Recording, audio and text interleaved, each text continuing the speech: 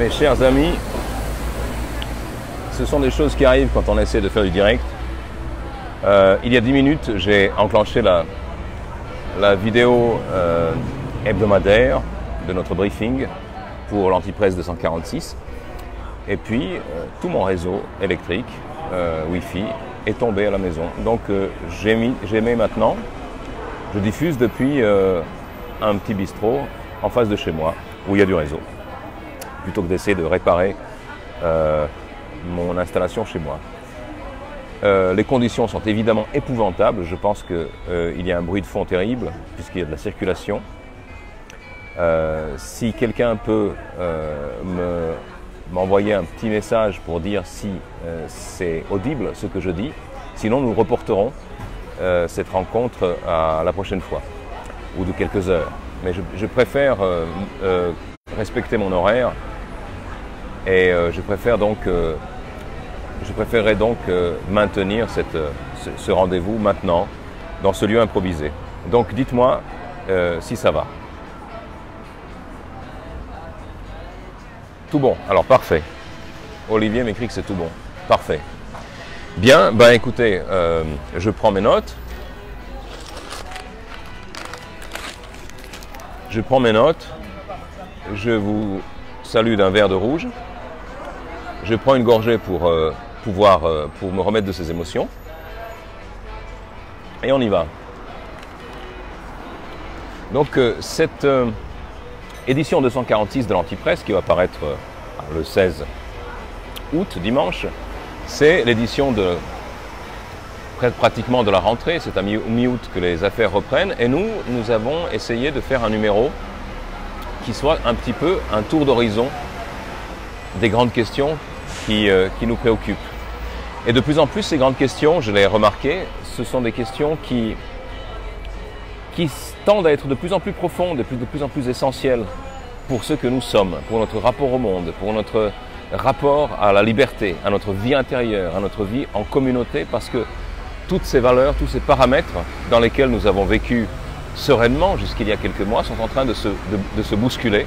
C'est le grand reset, comme disent les, les financiers les économistes, mais ce reset porte aussi sur les conditions mêmes de notre vie, de notre existence quotidienne et de notre existence euh, tout court. Euh, ce qui frappe ces jours-ci, c'est une espèce de situation un peu comique. Euh, nous voyons que le facteur numéro un du bouleversement de nos vies, qui est le coronavirus, eh bien, il est en train poliment de s'en aller.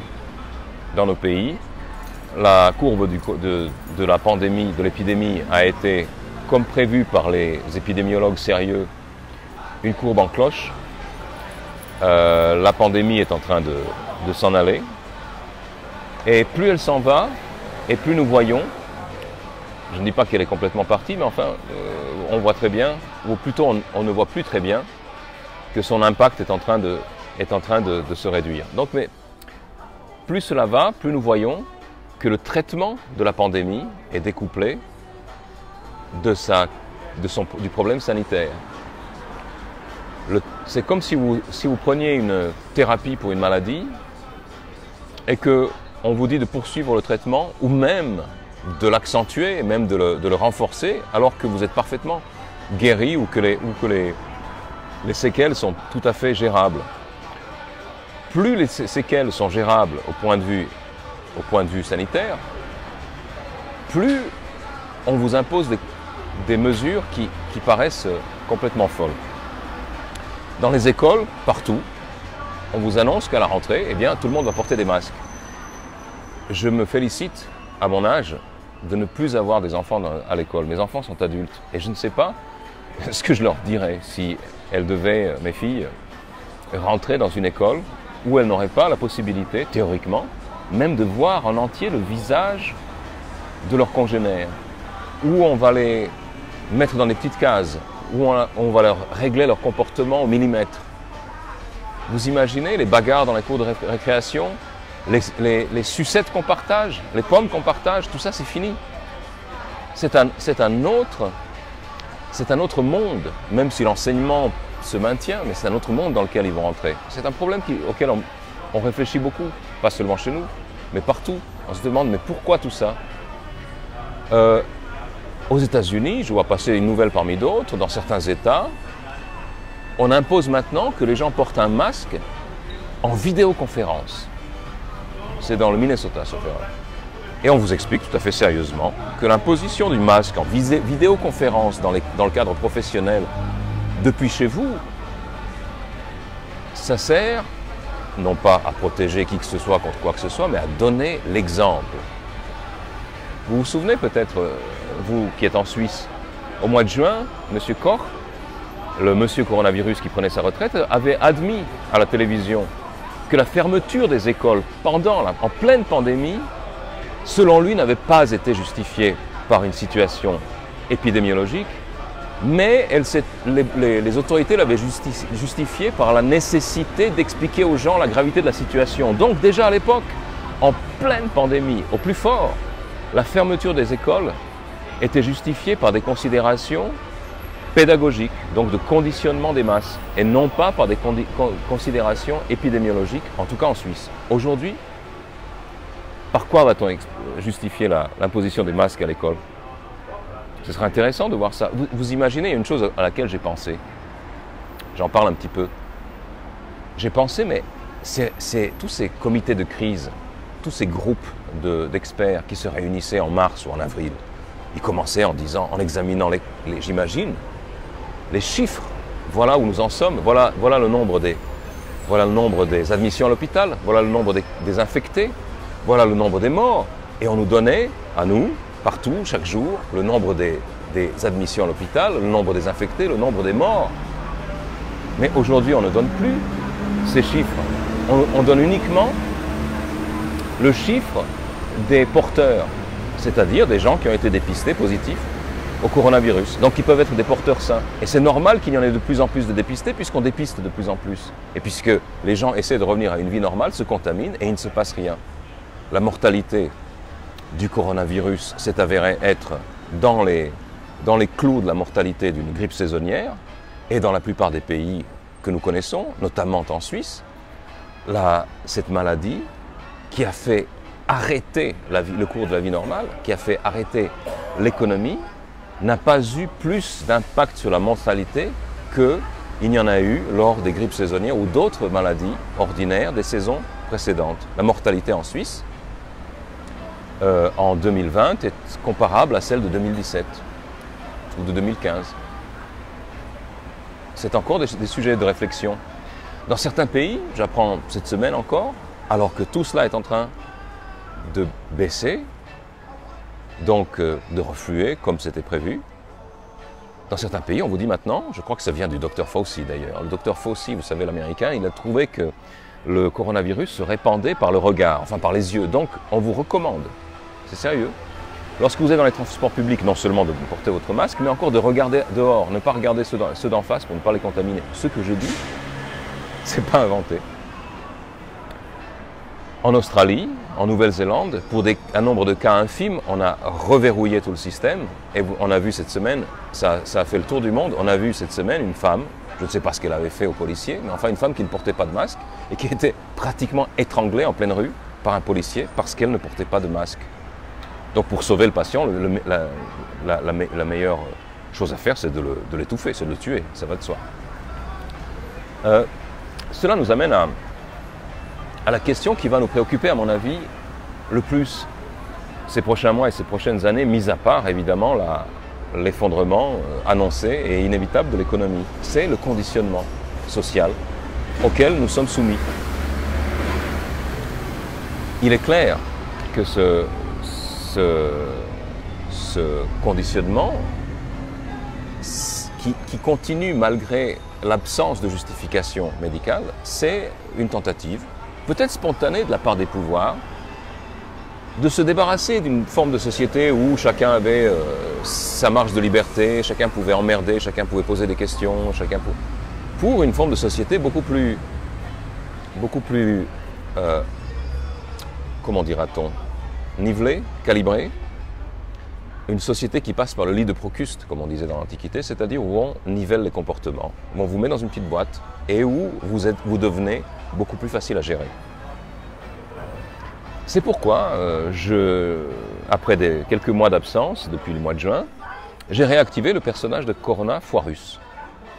Vous vous souvenez que j'ai créé euh, sur Marianne et sur l'Antipresse un blog tout au début de la pandémie, considérant que ce problème.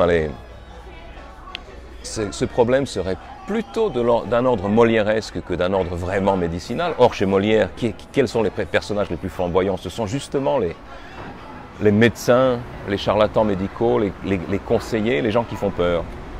Donc, euh, puisque nous sommes, euh, puisque nous sommes revenus à Molière, j'ai résumé euh, dans, un, dans un petit dans un, petit chapitre toute cette galerie de personnages auxquels nous avons eu affaire ces derniers mois en tant qu'incarnation des personnages de l'extraordinaire Molière. Vous avez tous vu passer le docteur Diafoirus et le docteur Purgon avec, ses, avec leurs leur prévisions démentielles. Euh, euh, vous, avez vu, euh, vous les avez vus envahir les plateaux de télévision avec leurs leurs instructions aussi péremptoires que provisoires sur le, grand mal inconnu. Vous avez vu Trissotin, le cuistre trois fois sot, qui s'est cloné en une armée de ministres, d'experts plus, plus vains et plus contradictoires les uns que les autres. Mais c'est évidemment le personnage le plus emblématique de toutes les comédies de Molière, le plus pervers, le plus profond aussi, qui règne. Je veux parler évidemment de Tartuffe.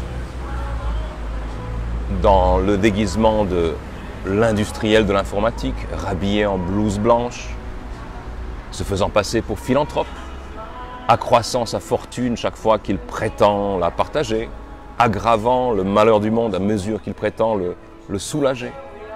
Ou bien Tartuffe en tant que professeur Semlaper Ferguson, vous savez, le, modélisateur de la, qui devait faire un demi-million de morts au début qui a imposé à ses concitoyens britanniques une discipline féroce, sur la base de calculs foireux, qui sont avérés foireux, une discipline qui s'est empressé, lui-même le premier de violer pour pouvoir coucher avec sa maîtresse, ajoutant dans le langage de Molière l'adultère à l'hypocrisie et l'hypocrisie à la prévarication. Nous sommes en pleine, dans un pot pourri de la satire sociale à cette différence près qu'il n'est pas dans le théâtre, les théâtres sont fermés, il est dans la rue, il est, dans la vie réelle. Et il n'y a pas d'auteur ou, de, rideau que nous puissions tirer pour dire bon, la, comédie est finie. Nous sommes obligés de la regarder jusqu'au bout. Donc autant en prendre notre parti et en rire. Euh,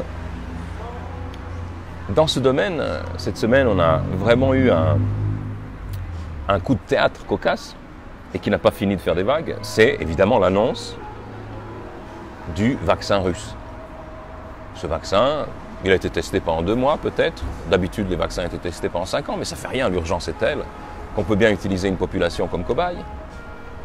Et à mon sens, c'est ce que j'explique dans l'antipresse, c'est un vaccin qui n'a pas besoin de virus. Parce que son, son efficacité ou son inefficacité n'auront en tout cas au niveau mondial aucune importance. Il est clair que même si le vaccin russe devait s'avérer à 100% efficace pour protéger la population contre ce virus ou ce qu'il en reste, vous n'allez jamais être vacciné avec euh, un vaccin produit par un institut d'État, donc un, institut non privé, mais un, institut d'État russe, et non pas une corporation internationale. Il ne peut pas marcher donc, même s'il marche. Euh, ce qui évidemment amène une question cocasse, Autrefois, vous aviez des carnets de vaccination qui étaient euh, euh, valables pour le, pour, le, monde entier. Vous receviez un, vaccin BCG en Italie ou en Suède ou je ne sais pas où, ben il était valable pour la vie, pour vous. Où que ce soit, vous étiez vacciné contre les maladies tropicales pour aller en Afrique, euh, en France, ben c'était valable lorsque vous arriviez en Afrique. Maintenant, il se peut que vous soyez vacciné contre le coronavirus en Russie, ou je ne sais pas où, dans un autre, pays, hors du, monde occidental, et qu'on ne vous laisse pas entrer dans, un monde dans le monde occidental parce que ce, virus, ce, pardon, ce vaccin, ne sera pas agréé par les corporations occidentales. Est-ce que c'est pas cocasse ça? Donc, sur ce qui se passe, on peut avoir des développements à l'infini. Et surtout, on peut avoir des... Il faudrait, il faudrait quand même réactiver Molière, il faudrait réactiver Jules Romain, le docteur Knock, il faudrait réactiver toute la satire sociale pour ne pas laisser les personnages de la satire sociale envahir la vie réelle. Il faudrait rouvrir les théâtres. Il faut, il faut faire rentrer ces, ces, ces diables dans leur boîte, d'où ils sont sortis ou d'où ils n'auraient jamais dû sortir. Donc, vous imaginez toutes les possibilités d'absurde qu'on peut, qu'on peut imaginer avec ce, ce, festival de Mad Mask auquel on se livre, avec euh, les infections par les yeux, avec les positions qu'il faut adopter, avec les enfants qu'on met. On a, on a, tous vu cette, cette photographie de Thaïlande, ce fureur des enfants de maternelle qu'on met dans une, un petit cube en plexiglas ou en plastique pour, pour, les séparer les uns des autres. Mais je pense que même Karel Čapek, dont la pièce Rure et Ruère sur les robots a 100 ans cette année, même Karel Čapek, qui était peut-être le plus visionnaire avec, cette pièce, que personne ne lit parce qu'elle est trop vraie, n'aurait pas pu imaginer un, un scénario comme ça. Mais l'absurde, d'un autre côté, si vous avez lu la littérature concentrationnaire, la littérature sur le totalitarisme, une, une lectrice m'a demandé Mais pourquoi vous, vous, référez toujours au passé naziste, nazi ou communiste mais, parce qu'il nous apprend des choses. La littérature concentrationnaire sur les camps en URSS, ou les camps de rééducation au Cambodge sous les Khmers rouges, ou en Yougoslavie sous Tito.